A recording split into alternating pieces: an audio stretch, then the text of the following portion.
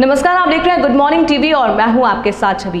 बारहवीं बोर्ड परीक्षा का परिणाम माध्यमिक शिक्षा मंडल द्वारा विगत माह घोषित किया गया था, जिसमें ज़िले के त्योंथर स्थित शासकीय उच्चतर माध्यमिक विद्यालय में पढ़ने वाली छात्रा खुशबू सिंह ने 500 में से चार सौ छियासी अंक अर्जित कर रीवा ज़िले सहित प्रदेश का नाम रोशन किया था।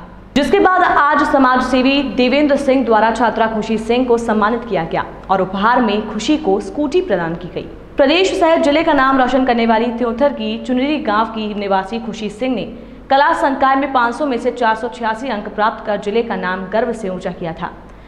प्रदेश में प्रथम स्थान अर्जित करने वाली छात्रा खुशी सिंह पिता रमेश प्रताप सिंह रीवा ज़िले के त्योंथर निवासी हैं। प्रदेश में प्रथम स्थान अर्जित करने वाली खुशी सिंह की लोगों ने काफ़ी सराहना भी की थी और अब ज़िले के समाज सेवियों द्वारा सुहागी कॉलेज खटिया में सम्मान समारोह का आयोजन करते हुए प्रशस्ति पत्र देकर उसका उत्साहवर्धन किया गया। इसी के साथ महाराजा ग्रुप के चेयरमैन समाज सेवी देवेंद्र सिंह द्वारा छात्रा खुशी सिंह को उपहार स्वरूप स्कूटी प्रदान की गई। देवेंद्र सिंह का कहना है कि अभी तो इन बच्चों का संघर्ष शुरू हुआ है। उम्मीद है कि इनाम के तौर पर स्कूटी और उचित सम्मान देने से छात्र छात्राएँ कॉलेज जाने के लिए प्रोत्साहित होंगे और आगे भी अच्छे अंक लाने को प्रेरित होंगे। कई बार परिवहन की कमी को आगे की शिक्षा के लिए बाधा के रूप में देखा जाता है। लंबी दूरी और सुरक्षित परिवहन की कमी के कारण ही लड़कियों की क्लास छूटती है और वे कॉलेज जाना छोड़ देती हैं। इससे छात्राओं को अपने कॉलेज जाने में परेशानी से मुक्ति मिलेगी। हम इससे लड़कियों को सशक्त करने के तौर पर भी देखते हैं और उन्हें स्वतंत्र बनाना चाहते हैं। इसके साथ ही आयोजित सम्मान समारोह कार्यक्रम में क्षेत्र के अन्य 50 छात्र छात्राओं को भी 90 प्रतिशत अंक अर्जित करने पर उन्हें प्रतिभा सम्मान समारोह का स्मृति चिन्ह भेंट कर सम्मानित किया गया। दसवीं कक्षा में निन्यानवे प्रतिशत अंक प्राप्त कर पूरे प्रदेश में सातवीं रैंक प्राप्त करने वाली बेटी स्वाति सिंह को भी पाँच हज़ार एक सौ रुपए का पुरस्कार मेडल और प्रतिभा सम्मान समारोह स्मृति चिन्ह भेंट कर सम्मानित किया गया।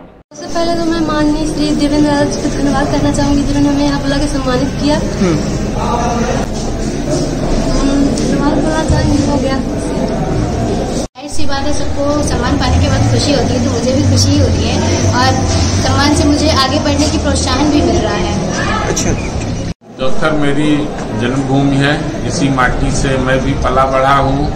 इस माटी के जो भी प्रतिभावान, ऊर्जावान और जो है क्षमतावान छात्र हैं, विद्यार्थी हैं, उनका सम्मान करके मैं खुद को सम्मानित महसूस कर रहा हूँ, क्योंकि ये तो अपनी मेहनत से ये स्थान अर्जित किए हैं। इनका सम्मान करने के बाद हम खुद अपने को सम्मानित महसूस कर रहे हैं कि हमको भगवान ने अवसर प्रदान किया और सक्षम बनाया कि हम इनका सम्मान करके और अपने माटी का, अपने दूध का, अपने धरती का कर्ज अदा कर इस खबर में फ़िलहाल इतना ही। और भी खबरों के अपडेट्स के लिए आप बने रहिए गुड मॉर्निंग टीवी के साथ। गुड मॉर्निंग टीवी को यूट्यूब में सब्सक्राइब करें और बेल आइकॉन भी दबाएँ। नमस्कार।